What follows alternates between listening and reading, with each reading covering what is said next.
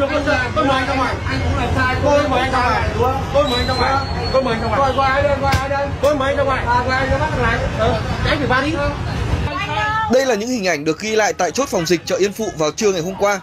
Dù không phải người dân trên địa bàn phường và cũng không có phiếu vào chợ theo quy định của cơ quan chức năng, thế nhưng đôi vợ chồng này vẫn kiên quyết chống đối chốt phòng dịch của công an phường Yên Phụ, yêu cầu phải được cho vào chợ để thăm người thân.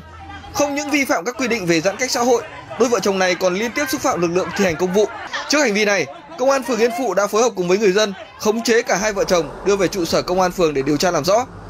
Khác với vẻ hổ báo khi còn ở chợ, sau một ngày bị tạm giữ, người đàn ông này đã cúi đầu nhận tội.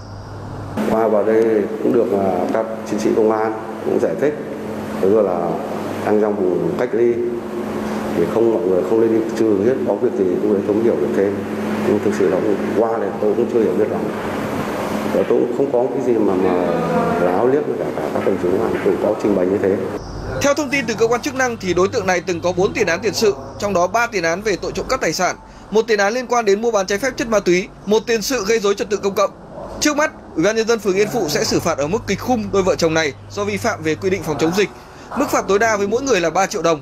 Ngoài ra, công an phường Yên Phụ cũng đang củng cố hồ sơ, chuyển lên công an quận Tây Hồ để xem xét xử lý hành vi chống người thi hành công vụ và gây rối trật tự công cộng. Đồng thời tăng cường lực lượng tại các chốt, xử lý nghiêm những hành vi vi phạm.